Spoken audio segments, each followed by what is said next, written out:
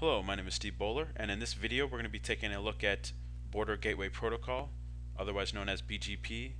Specifically with BGP, we're going to be taking a look at BGP troubleshooting. And this is BGP troubleshooting lab number 4. So in this lab we're going to be given a couple of trouble tickets, and we are going to have to configure our network so that the BGP configuration and connectivity is restored. So the first thing that I'm going to do is give you guys a brief introduction to this network diagram. We have three routers. We have router 1, router 2, and router 3. Router 1 and router 3 are in Autonomous System 100 and they are connected to each other via Fast Ethernet 00 and they are on subnet 192.168.13.0 slash 24. Router 1 is the dot 1 and router 3 is the dot 3.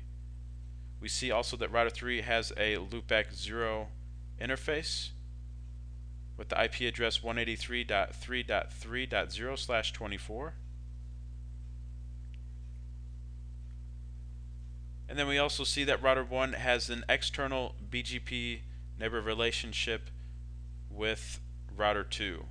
Router 2 is in BGP Autonomous System 200 and the interfaces connecting router 1 and router 2 is serial 00 on both sides. And the network between them is 166.0.0.0 slash 30 router 1 is the dot 1 and router 2 is the dot 2 and we also see that we have a loopback 0 interface on R2 with the IP address 174.24.0.0 slash 16 So now that we are familiar with the network, let's go ahead and take a look at our trouble tickets. So again, this is BGP Troubleshooting Lab number 4. Our first ticket says that you have recently upgraded your network and you have decided to run an internal BGP iBGP connection from R1 to R3. You have decided to let one of your junior level network administrators configure the iBGP neighbor relationship. After a few hours, you check the status with the network administrator who says that they are unable to get the iBGP neighbor relationship established. Configure the network so that R1 and R3 peer iBGP with each other. So our first trouble ticket, it appears as though our network administrator is having problems trying to get the iBGP neighbor relationship formed between R1 and R3.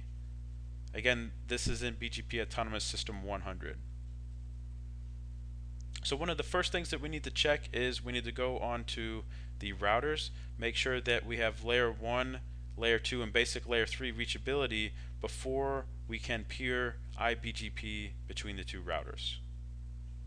So let's go on to router 1 first.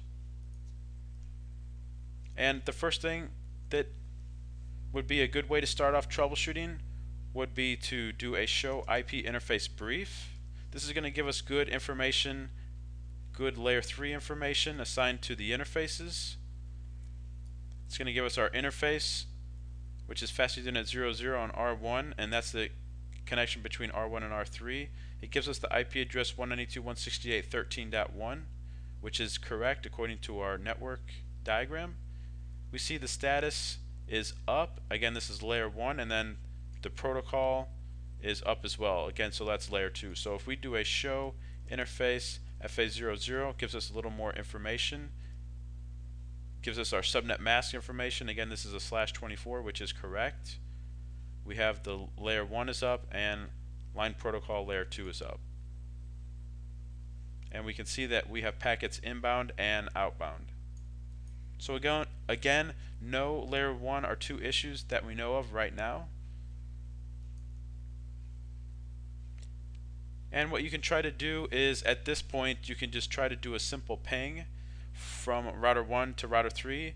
That way you can verify that you have layer 3 reachability from end to end.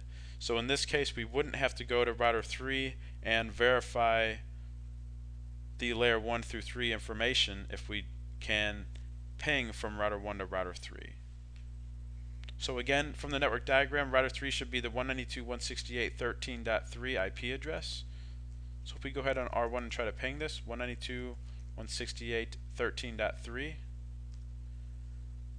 we can see that we have reachability.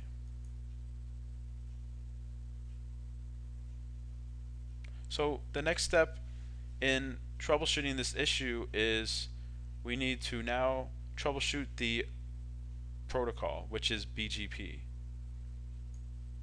So the routing protocol in this case is BGP. We can do a show IP protocols on R1 and what we can get from this is that we are running BGP for Autonomous System 100.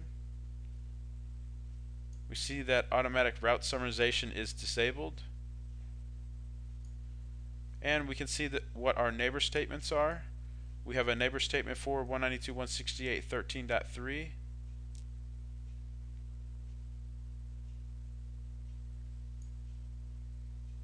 And it's going to give us our routing information sources. So for 192.168.13.3, which is our connection to router 3, we can see that the administrative distance is 200, which is correct for internal BGP.